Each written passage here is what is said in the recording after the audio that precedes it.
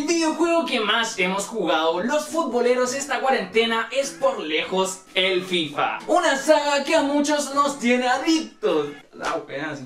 ¿Verdad? Pierdo, pierdo y sigo jugando. Dicho juego cada año saca una carta nueva para cada futbolista. Y el día de hoy traemos la evolución de Esteban Paredes en este videojuego. Como pueden ver con la cartita de acá. Bueno, esta carta realmente no salió en ningún FIFA pero simula ser el record breaker de cuando llegó a ser el goleador histórico del fútbol chileno. Antes de comenzar el video, si es que a ustedes les gustaría tener una carta tan hermosas como las que ven acá, los invito a ir a mi Instagram que es Anónimo del FIFA, donde estamos haciendo un sorteo con la persona que hace estas cartas, que se llama FIFA Cartas Chile. Oye, una calidad pero increíble, mira, lo voy a mostrar. Ojo, miren, la calidad, buenísima la carta. Y bueno, hay distintas medidas para que las combines como quieras. Ahora sí, vamos con este video.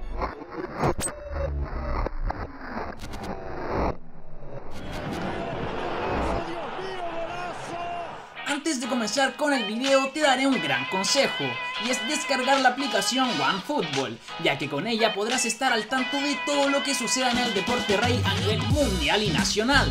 El link para hacerlo está en la descripción del video y recuerda que es totalmente gratuito. Retomando hablamos de Esteban Paredes, quien tiene más de 20 cartas durante todo el FIFA, así que sin mayor dilación comencemos con la acción. Antes de comenzar con este video también le quiero agradecer a la página de Instagram futurestars.cl quienes me ayudaron a recopilar todas las cartas que veremos a continuación del goleador histórico del fútbol chileno. Así que no olviden seguirlos en su Instagram. La primera carta que sacó Esteban del FIFA fue en FIFA 13, donde el jugador estaba en el Atlante de México y era plata. Su media era de 71, algo bastante bajito pero que cambiaría en la siguiente edición ya que en el FIFA 14, además de cambiar de aires, pues llegó al Querétaro, también subió su media a 73, junto con 3 puntos de regate y 1 de tiro, siendo estas sus principales cualidades, mientras que el ritmo y el pase se mantuvieron iguales. Posteriormente vuelve a sacar otra carta en este FIFA, pero cambiando solamente el club,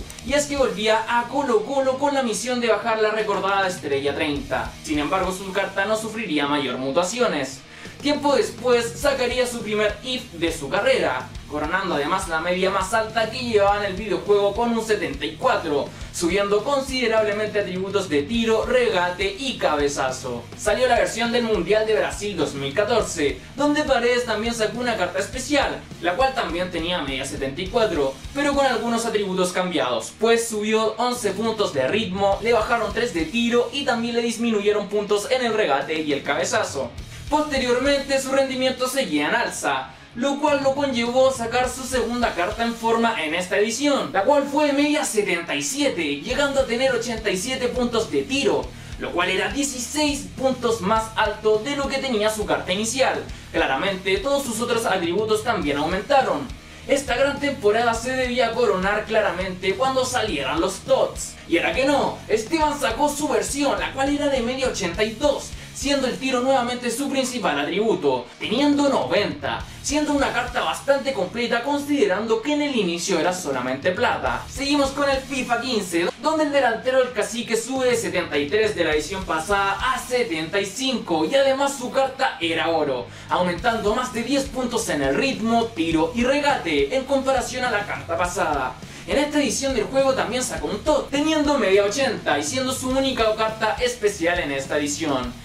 FIFA 16 no comenzaría con noticias positivas para el artillero, pues bajaba un punto de media y además volvía a ser plata, esta vez brillante. Sin embargo, posteriormente tendría un upgrade, donde volvería a ser 75, esta vez oro brillante. Llegaba el FIFA 17 y a mi juicio el mejor FIFA para Esteban Paredes sin duda alguna. Comenzó siendo media 75 y siendo solamente oro, pero posteriormente sacaría un IF de media 81. Pero esto no sería todo, ya que sacaría un SIF, el cual tenía 86 de tiro, 84 de regate y además 82 de pase, lo cual iba perfecto para usarlo de 10 en dicha edición. Sin embargo, como dije, esto no es todo, ya que en los TOTS sacó la carta más alta que ha tenido en toda la historia del FIFA, con una media de 88 destacando como siempre su tiro, siendo de 91, su regate de 89, pase de 87 y un físico de 86. La verdad una carta brutal para la liga chilena. FIFA 18 llegaba y el crack chileno seguía subiendo. Su media en esta ocasión fue 76, la misma cualidad que tenía en el tiro. Sin embargo, dicha edición del juego no fue tan buena para el artillero, ya que solamente sacó esta carta.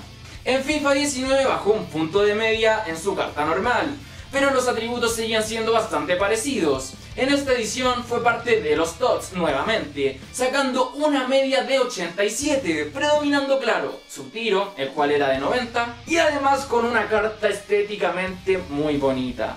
Llegamos finalmente a la edición actual, donde a sus 39 años de edad tiene 73 de media, volviendo a ser una carta bastante parecida a la de su segunda aparición en la saga del FIFA, es decir, en el FIFA 14. Posteriormente sacó una nueva, aunque solamente en el diseño, ya que era por la actualización de la Copa Libertadores. En dicha festividad también salió una carta especial por este campeonato internacional, la cual fue de media 86, predominando su regate, físico, pase y claro, el tiro. Y bien Krakens, así llegamos al final del recorrido de la carrera de Esteban Faredes. Esteban. FIFA Paredes. Y en Crackers así llegamos al final del recorrido de la carrera de Esteban Paredes en el FIFA. Espero que les haya gustado bastante este video ya que lleva mucha dedicación detrás. Y obviamente recuerden seguir a los amigos de FutureStars.cl ya que me ayudaron mucho con la recopilación de las cartas. Además, si este video llega a los 500 me gustas, hacemos un nuevo video de la evolución del FIFA con otro jugador chileno, el cual lo podrán escoger ustedes en los comentarios. Así que recuerden darle un me gusta para que este video llegue a muchos más Krakens y obviamente suscribirse para que YouTube les avise siempre que suba un nuevo video. Sin nada más que agregar, se despide Anónimo del FIFA de unir a los cabros y entradas más baratas, carnaval en el estadio. Para salir campeón necesitamos educación. Jugando al balón o frente al micrófono. El fútbol como forma de unir a los cabros y entradas más baratas, carnaval en el estadio. Para salir campeón necesitamos educación.